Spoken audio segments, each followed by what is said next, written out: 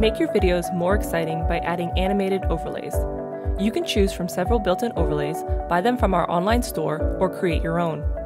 To add video overlays to your video, go to Video 360 Settings, then Video Overlays. You can choose from the built in overlays or import your own. If you choose more than one overlay, dslrBooth will cycle through them, one for every session. In addition to the built-in overlays, our online store has a variety of video overlays that you can purchase to add to your videos.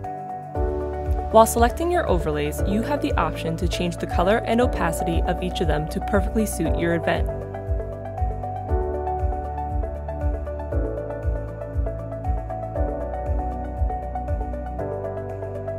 To avoid cropping and stretching, your overlay dimensions and orientation should match that of your videos.